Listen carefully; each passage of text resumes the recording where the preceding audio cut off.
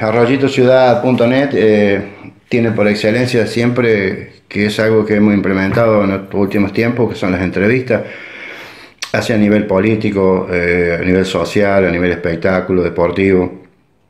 En este caso eh, tenemos la posibilidad de estar en, el orden político, ¿no? Con la señora Gloria, que realmente agradecemos enormemente la, la gentileza, habernos atendido aquí en su casa. Eh, agradecemos el cafecito, muy lindo el café. Eh, bueno, Gloria, realmente mm, digo, em, yo no puedo hablar de conocerla porque la conocemos, sabemos que, en función ha estado mucho tiempo, que han pasado muchos intendentes, donde usted también ha estado. Pero digo por ahí entre lo, informal que tratamos de que siempre sea la nota, ¿no? Eh, ¿Cómo se vive en estos tiempos por ahí? Eh, en usted con esta iniciativa? Digo porque por ahí hablamos de lo que se viene, que son las internas del radicalismo. Bueno, quería saludar a todos, buenos días de todos y muchas gracias a usted por esta nota. Este, yo estoy muy feliz porque la respuesta de la gente es hermosa, o sea, me reconocen sin que yo todavía haya hecho mucha publicidad y bueno, estamos esperando que pasen las, las elecciones de provincia y luego nos vamos a largar con todo acá la interna, que bueno, somos todos amigos, nos conocemos, pero cada uno tiene su camino y su meta. Y yo he sentido esta, este llamado, digamos así, porque tengo una vocación de servicio, porque tengo muy mucha experiencia, 23 años de trabajar con los vecinos, con la gente he trabajado con seis intendentes de varios colores políticos, entonces este, conozco mucho y quiero brindarme a la gente. Todavía me siento útil y ojalá que pueda hacerlo, que pueda lograr lo que estoy pensando. Tengo muchas metas, mucho, muchos programas para hacerlo y mucha gente que quiere ayudarme. ¿Cómo, cómo es su día? Digamos, por ahí tenemos que plantear el día a día. vemos una mesa tapada en trabajo. bueno, yo este, comienzo a las 6 de la mañana todos los días este, y me dedico a mi profesión actualmente, pero también trabajo con muchas instituciones sin fines de lucro. Mm. Como ser, este, estoy como titular en el Consejo Profesional de Ciencias Económicas aquí en la subdelegación de Arroyito, pero también estoy en dos comisiones del Consejo una especial de fiscalización en la ciudad de Córdoba, que esa mm, voy dos veces al mes, nos tenemos reunión en Córdoba, y otra de la Comisión de los Contadores de la provincia de Córdoba, que esa es una vez por mes en cada delegación de la provincia. Nos reunimos con contadores de todos lados, que son de la misma comisión, y bueno, tratamos temas afines nuestra profesión, a mí me encanta, eso es todo totalmente gratuito, sin fines de lucro. Nos pagan gastos, por supuesto, pero bueno. Y también este, soy tesorero del Club Cultural, así que ahí trabajamos este, también.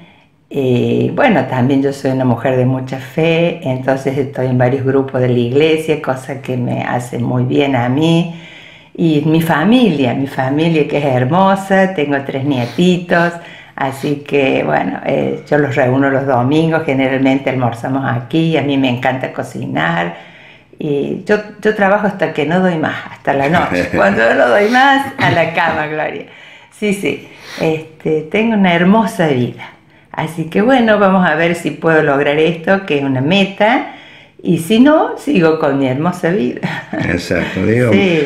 Eh, hablábamos recién de todo lo que, hablábamos, decíamos en el comienzo de lo que ha significado pasar, o sea, haber sido funcionaria. Eh, estar en el, en el constante movimiento también la hace estar muy cerca de la gente, indudablemente, y conocer las problemáticas. Eh, uno puede decir una interna donde va a haber cinco precandidatos cada uno con sus ideas, ¿no? Em, ¿cuál, es su idea? Mi idea es eh, mejorar, eh, seguir con todo lo bueno, porque hay muchas cosas buenas. Para nada cambiar lo bueno, pero mejorarlo, intensificarlo. En eso la aplaudo, y disculpe que la corte. En eso la aplaudo, porque da la sensación que siempre que entra una gestión parece que debe borrar todo lo que hizo la otra gestión. Para nada. Creo que lo bueno hay que seguirlo, mejorarlo y lo que no viene tan bien, Claro. indudablemente trabajar, ¿no? Sí, y escuchar qué es lo que el vecino necesita ver.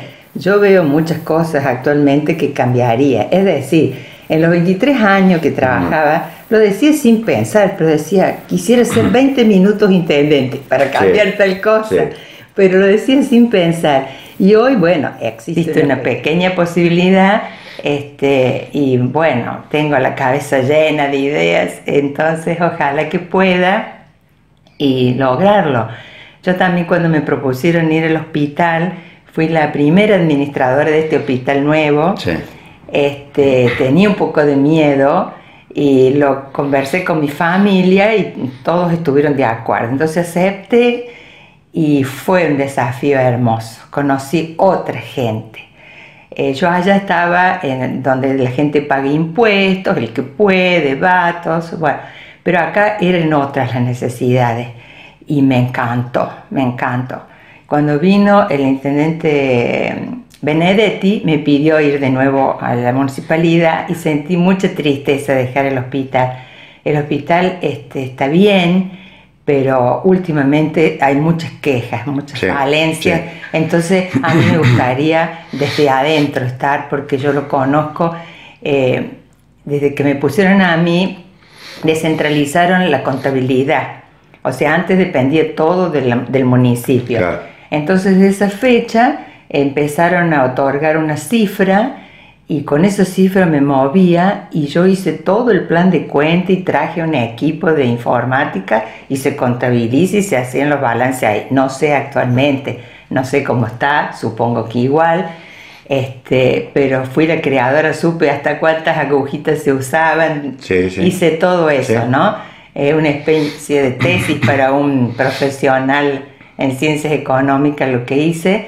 Y, este, y bueno, gracias a Dios cuando lo entregamos al hospital estaba con déficit cero y una farmacia completa de remedios y todos los servicios que funcionaban en ese momento.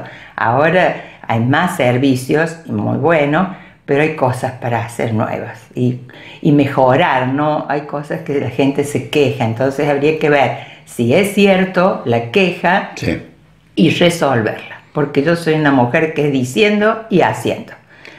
Cuando entré al hospital, este, no es cuando entré al hospital, después cuando entré de secretaria de Hacienda, comprobé que no tenía un generador de energía eléctrica el hospital, sino que se alquilaba. Pero no tardé un instante en decirle al intendente, quiero una entrevista con el ministro de Salud. Bueno, no me la concedió a mí, sino a la directora del hospital. Y al mes, en estas manos, el gobernador entregó un sobre con el cheque para comprar el generador de energía. No, yo sí, y si no lo hubieran dado o algo, yo lo hubiera buscado por cielo y tierra. Soy así, soy un poco cansadora, pero No, pero es gestión. es gestión, gestión y gestión. Las cosas deben ser así y no hay que mirar para el costado. Para eso la gente está pagando sus impuestos y hay que responder para eso. Y es el bien para todos. Uno nunca sabe cuándo puede utilizar los servicios, somos todos humanos, en eso no tenemos diferencia, ni el rico, ni el pobre, ni el, ni el anciano, ni el niño. Todos iguales, mientras vivamos tenemos que estar pendientes de lo necesario, lo que podemos lograr, lo que podemos concretar. Eh, uno, eh, siempre decimos Arroyito es una ciudad pujante, esto creo que se habla en todos lados, Sí. eh, pero que también tiene problemas, ¿no? Digo, por ahí en el contacto con la gente, ¿qué es lo que más le preocupa? La gente se queja mucho de... eh, viviendas está muy bien ese programa, pero las primeras viviendas no fueron buenas, se quejan de eso. Yo ya voy a hacer una reunión con esa gente a ver qué tan cierto es, qué solución se les da. Se queja de que pagan mucho, revisar esas cosas, ver, o sea, lo, lo estoy escuchando, hay que analizarlo con los comprobantes, ¿no es Sí, cierto? sí, sí, sí. No, no todo puede ser cierto y hay que ver cómo se resuelve. Todo se debe comprobar. Todo se debe comprobar. Eh, entonces es una cosa muy importante. Ahora, todos los intendentes hicieron viviendas, pero todos. Este programa es bueno, pero no vamos a dejar, no tengo en este momento la cantidad precisa, pero desde que yo conozco se hicieron viviendas siempre. algunas mejores, otras no tanto. Estas últimas creo que son muy lindas, porque yo fui a ver y entonces vi que eran muy lindas.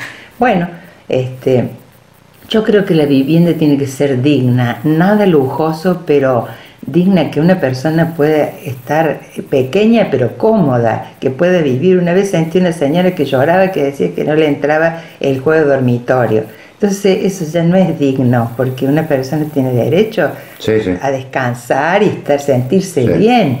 No se les da una mansión, se les da un techo, pero que esté bien, que esté bien hecho, eso es importante.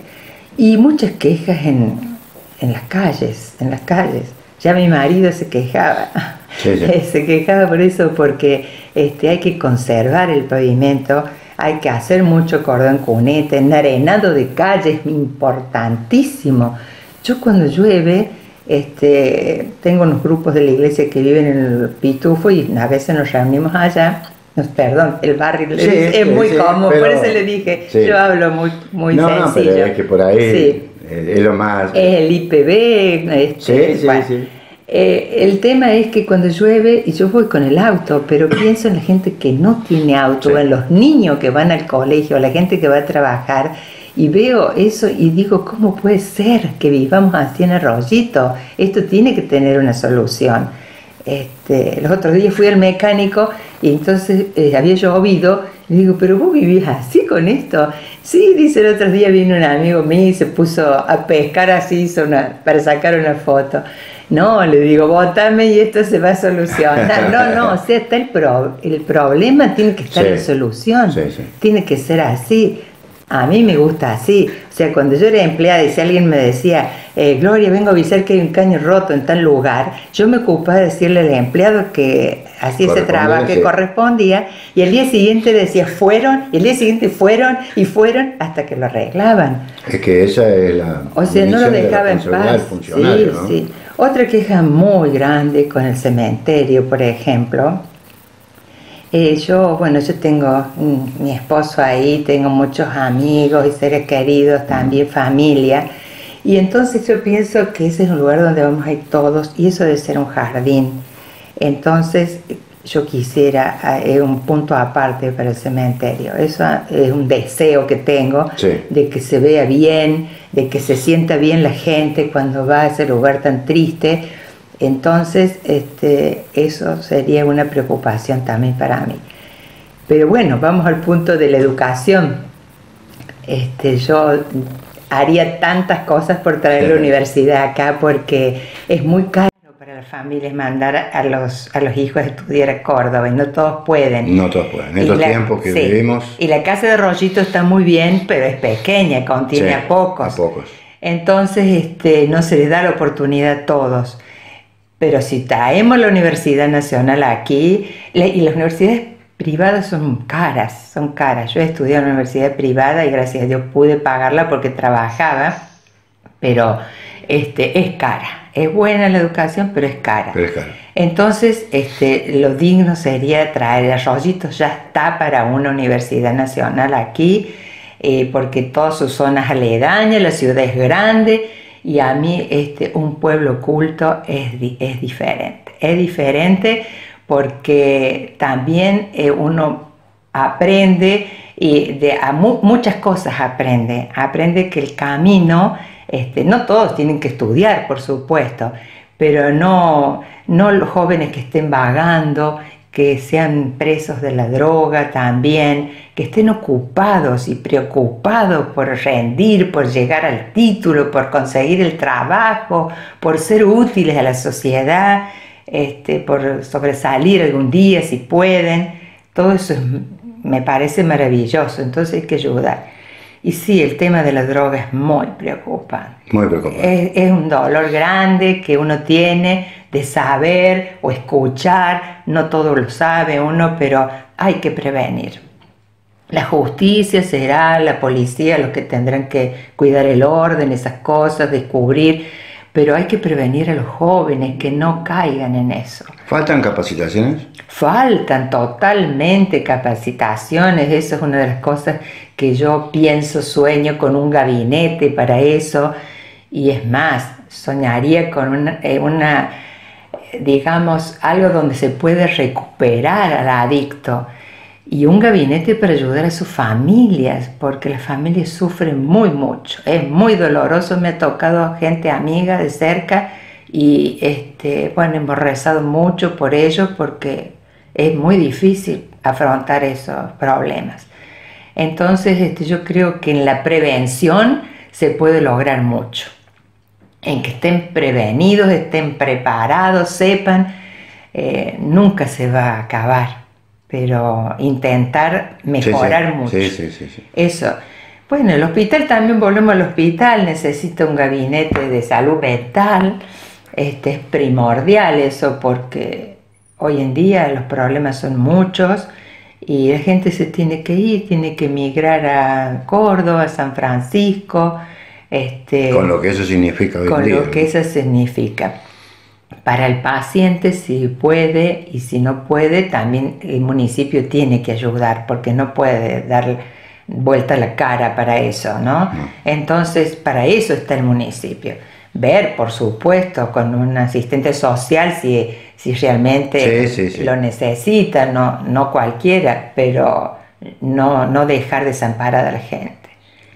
Y bueno, otra cosa que... El tema, eh, eh, el tema mm, que también eh, bueno, creo que todas, eh, más allá de los, precandidatos o los candidatos, eh, creo que al ciudadano le preocupa mucho lo que tiene que ver con el tema vial aquí en nuestra ciudad, ¿no? Que, que más allá de que si se usa el casco o no se usa el casco, pasan cosas en las calles, vemos cosas, vemos... Terrible lo que pasa, terrible. Y realmente me parece que hay que, ordenarlo. ordenarlo no, no, no tanto cobrar la multa, sino eh, ayudar al que el vecino eh, use el casco, eh, tenga luz, tenga su patente, vaya por la mano, estacione donde corresponde. Este, bueno, eso hay que intensificar, hay que intensificar. los otros días yo venía camino a mi casa, en esa cuadra del hospital, y la que viene del cementerio, me cruzó una moto que iban con un niñito, dos o tres años lo sumo, una pareja joven, ninguno de los tres cascos no tenían luz. Y era de noche, lo vi porque, bueno, gracias a Dios que los vi, pero me da tanta pena porque cuánto riesgo corren esas tres personas y no se dan cuenta. Y pasaron sin frenar, podrían haber frenado ver que pasar el auto, no, no, no. Entonces hay que educar a la gente y bueno, si tienen que dejar la moto hasta que este, tengan el casco, hasta que puedan eh, ir bien, corresponde. yo digo, la multa no soluciona muchos problemas. No. Este, pero hay que ver de qué forma se puede solucionar. Quizás más inspectores para prevenir, para hacerle una notificación, decirle, bueno, la próxima vez usted ya está notificado, sí, le vamos a hacer una multa y la próxima vez, no sé, le quitaremos una moto, de acuerdo a las ordenanzas, por supuesto. Estoy hablando sin, sin conocimiento de qué dice la ordenanza en, eh, ese aspecto. Eh, igual que el tema de los inspectores, digo, protegerlos un poco también, ¿no? Porque están muy desprotegidos, se los ve desprotegidos. Por ahí digo, cuando hay que hacer una Hemos tenido casos de, chicos que los han atropellado porque ven que los van a parar. Eh, me parece que no corren riesgos, corren riesgos, claro, porque a veces los jóvenes este, o están a lo mejor alcoholizados, puede ser, y no se dan cuenta del daño que están haciendo, porque el inspector está para ayudarlo, para prevenir, para mejorar el tránsito, para todas esas cosas. Porque después pasa algo y lo primero que decimos, eh, ¿y el inspector dónde estaba? Claro. Bueno, pero por ahí nos toca que eh, estamos infringiendo la ley y queremos llevarlo por delante del inspector. Digo, sí. Y pasa, uno lo ve en la somos tele. Muy coherente muchas veces con lo que queremos o con lo que predicamos. ¿no? creo que acá el ordenamiento, me parece que eh, la capacitación eh, es algo que, que debe ser desde el, desde el Estado o desde el, la el gestión, municipio, sí. es algo que debe estar. Pero siempre también, han tenido capacitación, no sé ahora. Que también desde la familia debe acompañar, ¿no? Porque Eso también es muy bueno, eh, dar cursos en las escuelas, este, porque el joven a veces escucha más al profesor, al maestro, que al papá y la mamá. Este, siempre todo tan rápido en la casa, que se van, que vienen Este, entonces ahí dar charlas para prevenir, para ayudar, algo les puede quedar y, bueno, que sea útil para todos. ¿Cómo, cómo ve la interna?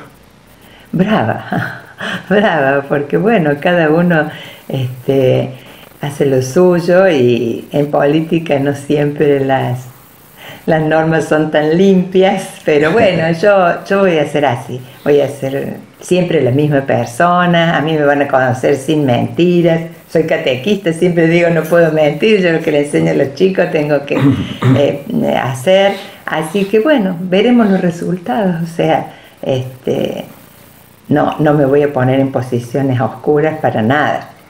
¿Ha existido, han existido contactos? Porque por ahí se hablaba hasta de que no habría interna. Digo, para eso seguramente hay negociaciones. Mire, me llamó el intendente, hablamos, este, pero bueno, él dijo que iba a apoyar a su candidato y bueno, lo está haciendo firmemente. Eh, yo tengo una postura, yo ya, yo ya hice mi vida este, y no quiero, eh, no es que no quiera estar debajo de nadie, pero yo ya trabajé como secretaria de Hacienda y no son los logros que yo quería.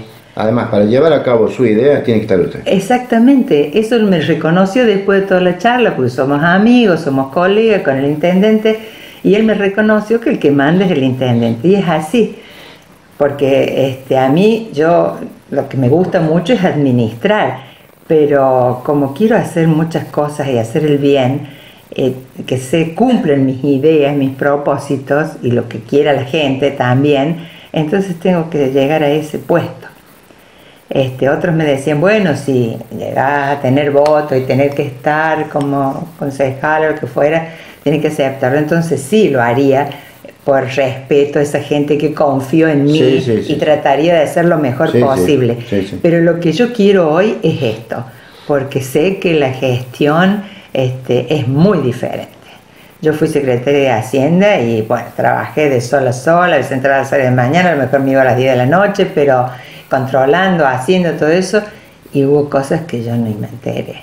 Me enteré después que me fui, cosas que no. Entonces, no quiero que suceda. Yo los quiero a todos, los respeto a todos, pero... Pero cada cosa en su lugar. Cada cosa en su lugar, usted lo ha dicho. Cada cosa en su lugar. Sí, sí. Em, hagamos la idea de que, es intendente. Oh. Porque usted recién pedía minutos. Ah, sí, 20 minutos. ¿Qué hago primero? ¿Qué hace primero? Bueno, reunirme con todos los empleados, asegurarles su trabajo pero que cada uno lo cuide, ¿eh? que sea responsable y que lo cuide. Entonces va a ser dueño hasta el final del trabajo. Así debe ser un empleado.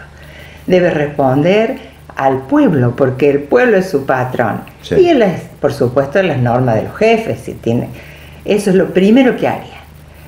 Este, y le dije, bueno, eh, los secretarios, cada uno su, su función, entonces, eh, cosa que empezar por las calles, ordenando que pongan los nombres de las calles en todos lados, vería la forma, arreglándolas, todo eso. Y bueno, reunirme con las directoras de escuela, ver qué necesitan las escuelas, tanto de la ciudad como del campo, eh, me encantaría que haya otra escuela primaria para que no haya tantos niños en las aulas, para que el maestro tenga una dedicación más directa con el alumno, una llegada más. Es muy importante la maestra, pasa muchas horas y lo prepara para la vida, lo prepara para todo. O sea, yo tengo recuerdos de mis maestros desde que, que iba al primario, yo fui de cinco años al primer inferior así que así se llamaba en ese tiempo, no era primer grado, sino primer inferior. Y hermosos recuerdos porque el maestro forma, forma, no solo el papá y la mamá, es muy importante. Entonces eso sería, y la universidad ya sabes, es mi deseo este, que puedan formarse aquí los profesionales, lograr profesionales en la ciudad una cosa que no hablé es del geriátrico, un geriátrico. Es mi deseo, yo tengo actualmente mi madre viviendo conmigo, así que comprendo eh, la necesidad de un geriátrico. Yo voy a hacer todo lo posible por tenerla hasta el último momento de nuestra vida juntas, porque uno le brinda amor a cada rato, cuidados intensivos, pero hay gente que no puede porque están trabajando los hijos o porque no pueden, no están... Entonces, este, yo creo que el hogar de ancianos funciona muy bien, pero es pequeño, para las necesidades es pequeño y bueno, eh, hacer algo bastante bueno que puede ser entre lo privado y lo público, algo conjunto, es un sueño. Allá donde vivían mis padres, en Azul, conocí un geriátrico inmenso, ya viejo, pero lo había donado un ingeniero y lo había hecho especialmente para geriátrico.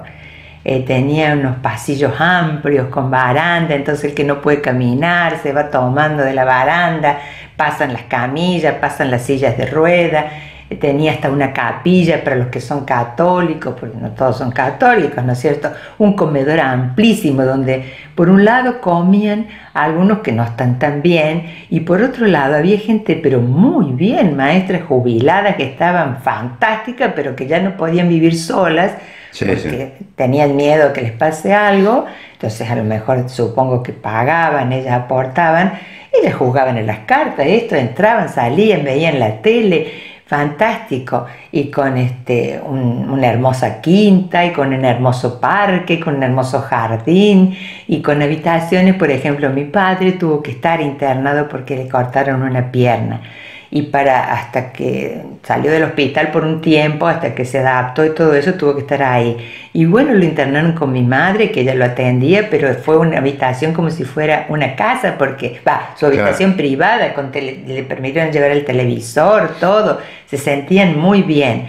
O sea, bien atendidos, bien atendidos, con el médico presente permanentemente en el geriátrico, enfermeras eh, bueno, ojalá se pudiera hacer en Arroyito porque el hogar de ancianos es pequeño y hoy en día todo el mundo trabaja y este, como se ha prolongado la vida, la gente vive mucho, vive a veces hasta los 100 años, entonces este, muchos ancianos que necesitan asistencia o cuidados que no puedan vivir solos. Así que eso es una, necesidad en Arroyito. Eh, le iba a preguntar por el, tema eh, del área de deporte, pero me, voy a, antes de ir a esa parte, quiero, porque me deja ver usted, o sea que eso es lo, bueno, porque uno en la entrevista, yo soy muy frontal, hay veces que en la entrevista no digo nada, porque considero que no debo decir nada, y cuando sí hay algo que me llama la atención, eh, lo, lo, planteo, digo, ¿le afecta mucho a usted el hecho social? Muchísimo, muchísimo, porque una sociedad sana hace feliz a todos. Eso. Y uno no queda en una frase, porque es una frase que se utiliza. Vamos a estar con la gente, vamos a ayudar a la gente, pero usted me transmite realmente la preocupación. Estoy preocupada, por eso entré en el club cuando me ofrecieron el, ese cargo y me encanta porque el club tiene muchas disciplinas. Yo siempre he sido socia del club para ir a la pileta, que se yo, los veranos, tomar sol, cosas que me gustan, pero mis hijos se han criado en el club este, con deportes, han ido a natación y hay muchas disciplinas, cada uno lo que le guste, por supuesto, y apoyo eso porque el joven también es muy bueno que practique deporte, que salga de la calle este, y, estar, y estar con profesores realmente de la, de la actividad que le están este, practicando, digamos, ¿no es cierto? Para que sea bueno y que compitan, no por el hecho de ganar y ganar, bueno, es una satisfacción cuando ganan, pero es por el hecho de fomentar el deporte e incrementar las relaciones con otros pueblos, con otras ciudades, con otra gente, este, gente que viaja al extranjero y puede tener otras oportunidades. De aquí han salido muy buenos jugadores de, de algunas disciplinas, ¿no? Sí, sí, sí. Entonces, este, es bueno apoyar. Hay que apoyar el club. Y la gente, no sé, siempre dice, ¿el club qué nos da? El club necesita mucho porque es un monstruo de gastos. Entonces, es una cosa que hay que mantenerlo. No es fácil. No es sencillo. No es sencillo, pero el club lo da todo porque el club es para la gente, para los socios. Así que, bueno, ojalá que la gente comprenda eso de que... Sí, hoy se habla eh, en la parte deportiva siempre de, o sea, siempre lo que se utilizó la frase era el deporte es salud, eh, el deporte es salud y hoy es una necesidad Es una de que muchos chicos hagan la práctica del deporte, ¿no? Por eso también hay que trabajar mucho en esa área, eh, ya sea desde el polideportivo, desde las instituciones, porque Sí. realmente creo que también puede ser una de las, eh, eh, no, puede ser no, es una de las herramientas que le pelea al flagelo de la droga. Sí, eh, también tengo pensado una reunión con gente del polideportivo porque eso tiene que estar a full, a full en todo, ya que está, ya que es bueno, este, tiene que ser explotado a full, porque eso es para el pueblo y bien le vendría al municipio tener una pileta municipal porque veo que todos los años llevan gente este, a la pileta del club, este, o sea, la gente tiene necesidad. Entonces, porque es lindo que los niños estén, Sí, aprendan a nadar, sí, sí. estén en un ambiente, como les digo, con un profesor que mantenga la disciplina, el orden, que hagan sus amiguitos de verano, la escuela de verano, porque en tiempos de clase van al colegio, están ocupados con las horas de la escuela, con las tareas, con todo, pero en verano el papá sigue trabajando, o sea, es muy buena la escuela de verano. Mis hijos siempre han ido a la escuela de verano, desde el primer día hasta el último, porque bueno, siempre trabajé y el padre también, entonces, este, y bueno, han aprendido a nadar y todo. Una vez cuando fuimos a, Lucas fue a competir eh, fútbol, era pequeño, a las varillas, bueno, los llevaban en un colectivo, los chicos, y nosotros con mi marido fuimos en auto. Cuando llegamos allá todavía no era el partido y el club tenía este, pileta. Y lo veo a Lucas en la punta del trampolín y se tiraba. Yo me quería morir, pero digo, ay Dios mío, gracias a Dios que lo mandé a aprender a nadar porque disfrutaba de esa pileta Lucas, pero bueno, parecía un pescadito. Pero es así. Es así. Eh, yo digo, eh, hablo de la política, hablo de las internas, ya vendrán. Eh, le diría que si ha quedado algo para que usted pueda explayarse, eh, antes de, de decir lo que me gusta decir por esta nota que hemos realizado, digo, por ahí darle la posibilidad, si usted considera que ha quedado algo. No, creo, bueno, algo siempre queda, porque ideas surgen inmediatamente todos los días y a cada rato, y alguien que propone, yo estoy abierta, a mí me encanta escuchar a la gente y resolver. Pero bueno, yo estoy contenta, estoy contenta con el partido que elegí, porque, bueno, espero ser útil y, bueno, los tres dedos del radicalismo quieren decir democracia, diálogo y decencia. Y a eso me voy a deber. Me voy a eh, explayar en todo eso para que la gente no se arrepienta. Y bueno, el que no me vote, no hay problema, pero uno si llega a algún lugar es para gobernar para todos. No va a haber diferencia para nadie, ni con el que me votó. ni- y bueno, tampoco a mí me gusta ofrecer nada, porque yo lo que ofrezco es eso, trabajo, trabajo, eh, mantener el trabajo a los que están, mejorar todo lo que se pueda, Los pies sobre la tierra. los pies sobre la tierra. O sea, si se puede mejorar algún sueldo, algunos ganan bien, otros no tanto. Entonces, este, eso a mí me duele porque la vida está muy cara. Sí, muy bien. Entonces, estamos pasando momentos muy bravos. No sé si se va a solucionar pronto o no. Este, no depende solamente a veces de simples medidas. Acá tenemos que colaborar todos, pero todos. O sea, yo pienso que hay que amar al país, la patria, el pueblo, todo.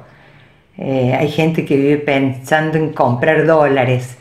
Eh, yo no digo que esté mal, yo digo lo que siento yo. Yo mis pies están plantados en el centro de la tierra he comprado dólares cuando he tenido que viajar al, extre- al exterior, ¿no? Pero porque es la moneda que... Sí, sí, sí. O porque, como usted dice, para pagar estas cosas que se compran. Porque hay países, que, hay países que defienden su moneda. Claro. El problema nuestro es que dependemos de otra moneda. Todo está No invertido en otro. Entonces, ¿cuándo vamos a salir así? Todo tiene que estar dolarizado.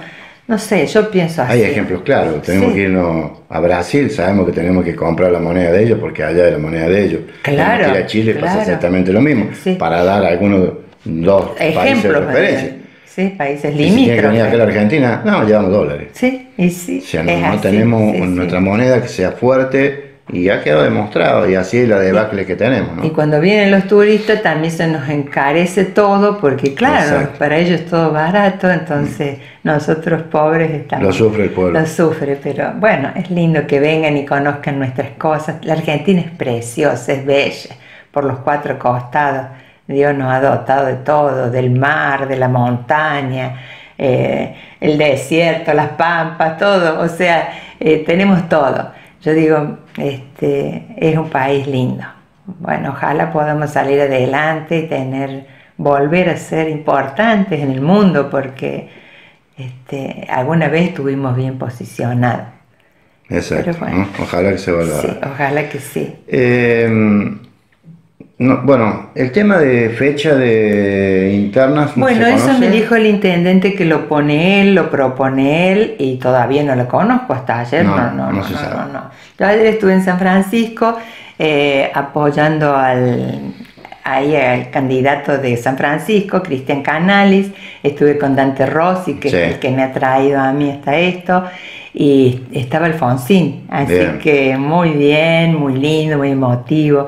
Alfonsín tuve la emoción, realmente debo decirlo, conocer personalmente, porque siempre lo veía por la tele o en el diario, revistas, pero este, muy sencillo, muy buen humor, este, no me lo imaginaba así realmente. Y bueno, estuvo lindo, estuvo linda la reunión, eh, muy amable. El candidato de San Francisco propuso vivienda con el plan de Arroyito, o sea que ha sido un ejemplo para él, porque se ve que San Francisco carece de vivienda. Sí. Así que bueno, ojalá que llegue, que las pueda hacer, porque es un bien para la sociedad. Sí, dio todas sus propuestas muy lindas. Pasé un momento muy grato, sí, sí, ayer.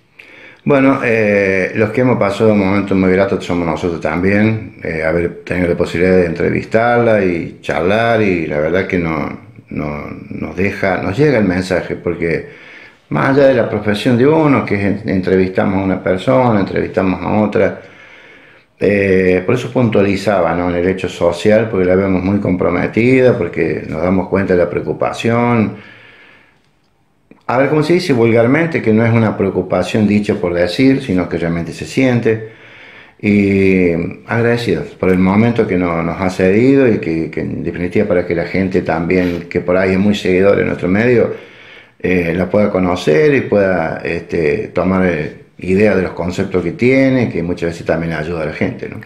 Bueno, muchas gracias. Yo soy la agradecida porque también quizás muchos me conozcan, pero es donde yo trabajo, donde yo me muevo, pero mucha gente tiene que saber lo que pienso y cómo soy, y sobre todo el joven que no me conocen, o sea, algunos dirán esta mujer grande, bueno, pero yo tengo la experiencia y espero poder ayudar a todos. Así que, bueno, muchísimas gracias, ¿no? Usted ha sido muy amable y muy No. gentil. No, no, por favor, agradecemos a usted. Bueno, buenos días.